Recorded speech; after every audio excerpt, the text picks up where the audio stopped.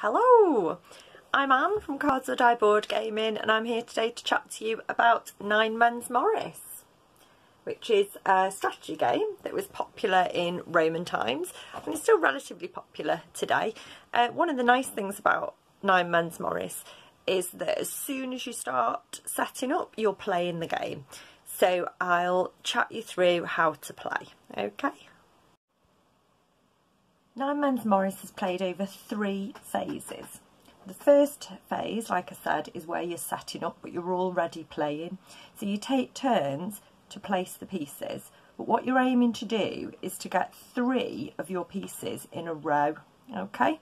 So you can do that that way or that way, so vertically or horizontally, not diagonally, that doesn't work.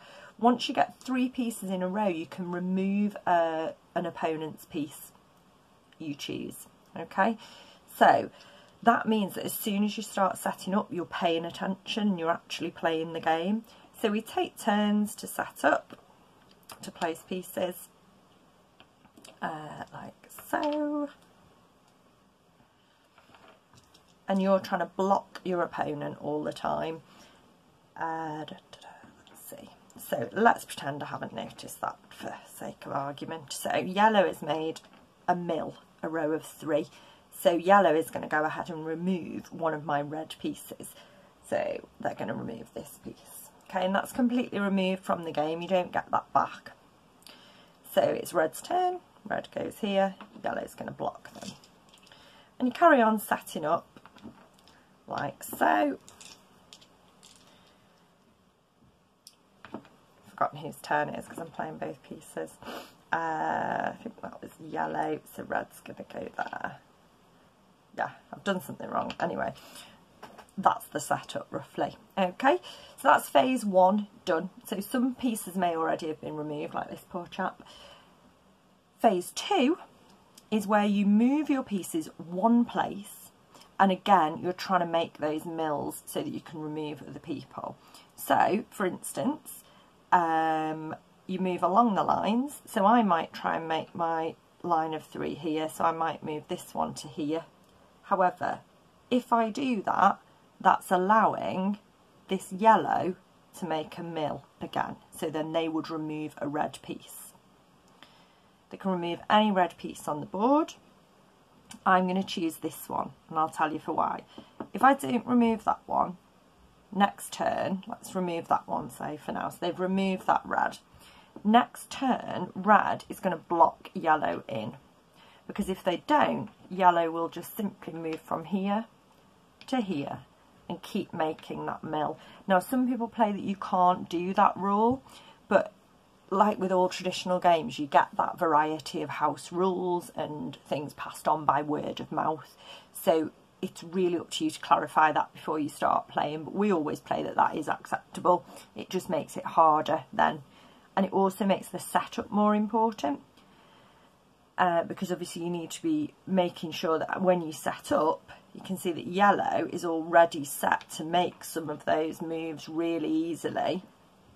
Whereas red is going to have much more of a difficult time getting themselves into a position. They would need these to be empty to make that mill. So they're in a more difficult position because of the setup. So the setup is really really important. So that is phase two. In order to win the game, you need to make it so that your opponent can't make any mills or any rows of three, which would mean that they would be reduced to two pieces. The third phase of the game begins when someone is reduced to three pieces. So let's just go ahead and reduce those down a little bit. So we'll reduce red to three because they were already on the back foot, weren't they? They were already losing. And we'll take some yellows out because we'll say that red was uh, catching up a little bit. Okay, so the yellows are quite spread out. So the yellows are going to try and move across here. Red now can do something called flying because they've only got three pieces left. What they can do is they can move to any space on the board. Okay, yellow, however, cannot. So yellow still needs to move space by space to try and complete a mill somewhere. Red doesn't have that difficulty, so red can go to there. So it makes that anticipation of what the next move might be a little bit more difficult. So yellow is still trying to make a mill and red makes one. It means as well that you're not out, do you know what I mean? So even if you get down to three pieces, the game's not over. Some strategy games, you know that you've lost at some point. You know that there's no point really carrying on because the other person has obviously won. But the nice thing about Nine Men's Morris is that's not so obvious and it's it gives it a little bit more balance.